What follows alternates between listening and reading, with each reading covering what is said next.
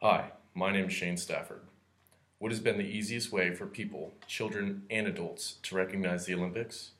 Aside from the iconic ring symbol, it's the Olympic mascot. Every four years, a brand new design for a mascot accompanies the Olympic Games, tasked with representing both the host city and the entire world. The 2016 Summer Olympics are the 31st Summer Olympic Games, the world's largest international multi sport event. The 2016 Summer Olympics are commonly known as Rio 2016, as it is hosted in Rio de Janeiro, Brazil. The host city was announced on the 121st IOC session held in Copenhagen, Denmark, in October of 2009.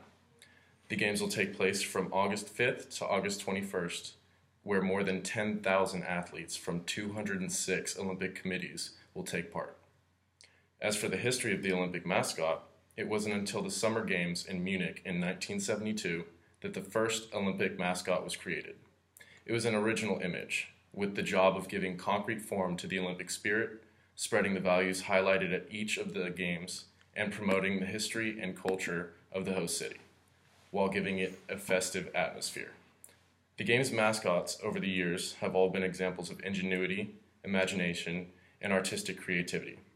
From Waldi, the Munich Games Dachshund, to Amik, the Montreal Games Beaver. The first mascots were emblematic, usually animals of the host country. There have been some mistakes with the Olympic mascots. For example, one of the one iconic mishap with the Olympic mascots was that of the 2004 Summer Games in Athens, Greece.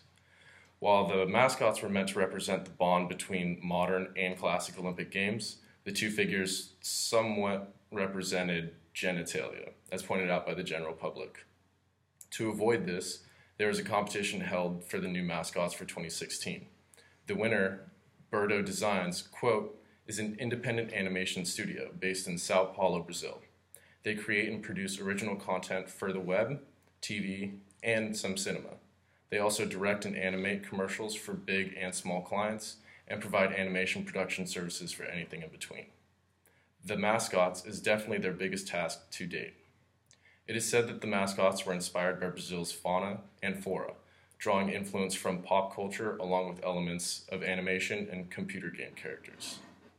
The mascots were unveiled without a name in November of 2014, blending fiction and reality and people's great joy being felt by the nature. It was from this energy that the mascots were created. The nature would actually give the people great joy. The names and the mascots were determined by a public vote.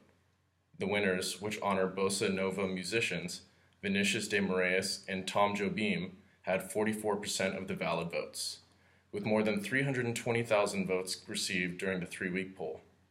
The other choices, Oba and Eba, and Tiba Tuque and Esquindim, lost. Vinicius de Moraes and Tom Jobim were two of the best known pioneers of the bossa nova genre of music a fusion of samba and jazz that was developed in the 1950s and 1960s. The duo also wrote The Girl from Ipanema, one of the most played songs in the world. Beth Lula, the brand director of Rio 2016, stated that their role is to share the messages of the event and the values of the Olympic and Paralympic movements to various audiences, especially children and youth.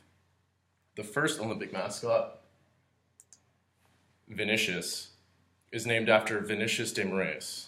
The Olympic mascot represents Brazilian wildlife, primarily carrying a design trait of, of mammals. It has the agility of cats, swaying of monkeys, and grace of birds. It is said that he can stretch his arms and legs as far as he wants. The other Olympic mascot, Tom, represents the Paralympics.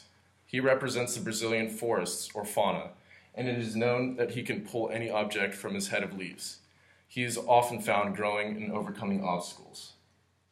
In conclusion, the mascots reflect the diversity of Brazil's culture and people. Using Brazilian musicians as well as symbols that are common in Brazil, the mascots display unity of Brazil's entirety fauna, flora, and human alike. Thank you.